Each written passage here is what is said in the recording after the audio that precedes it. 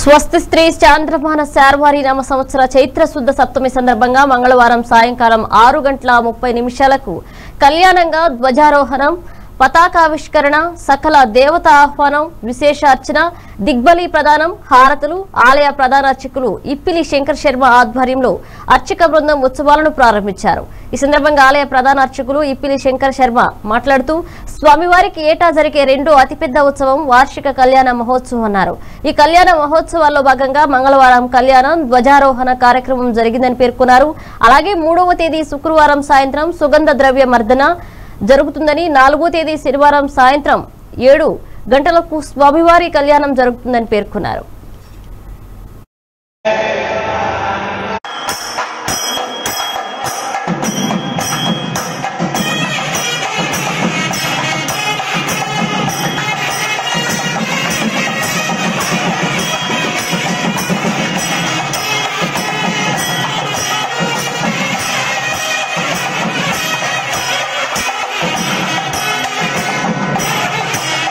అరసవల్లి సూర్యనారాయణ స్వామి దేవాలయంలో వార్షిక కళ్యాణ మహోత్సవ సందర్భంగా ఈరోజు చైత్ర శుద్ధ సప్తమి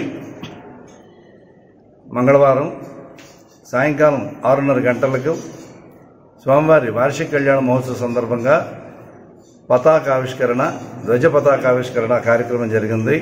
త్రయత్రింశత్ కోటి ముప్పై మూడు కోట్లు ముప్పై మూడు కోట్ల దేవతలందరూ కూడా ఈ గరుడాల వారి ద్వారా స్వామివారి కళ్యాణం చైత్రశుద్ధ ఏకాశి నాడు జరుగుతుంది కాబట్టి వీళ్ళందరికీ ఆహ్వానం పంపించడానికి ఈ గరుత్మంతుడికి ఆవాహన చేసి ఈ తర్వాత నవగ్రహాలకి అష్టదిక్పాలకులకి కనికల సూక్తం కూడా చెప్పి ఈ కార్యక్రమం అంతా చేశారు. పండితులు ఋత్వికులు. తర్వాత స్వామివారి కళ్యాణం ఏకాదశి నాడు జరుగుతుంది. దశమి నాడు కొట్టం దంపు సుగంధ ద్రవ్య మర్దన కార్యక్రమం ఉంటుంది. తర్వాత ఏకాసనాడు నాడు కళ్యాణం అయిన తర్వాత ప్రవేశ హోమాదులు కూడా జరుగుతాయి. ఆ మన్నాడు ఆగ్నేయ స్థాలిపాక హోమాదులు ఆదివారం నాడు జరుగుతుంది. సోమవారం ఉదయం సదస్య మహోత్సవం పండిత సత్కారం ఉంటుంది. సాయంకాలం నిత్యార్చన ఔపాసన కార్యక్రమాలు ఉంటాయి. తర్వాత స్వామివారికి తిరుమంగళ వారు చరిత్ర విన్నపములు ఆ కార్యక్రమాలు కూడా ఈ అనివేటి మండపంలో జరుగుతాయి. తర్వాత స్వామివారికి పుష్పయాగోత్సవం జరుగుతుంది.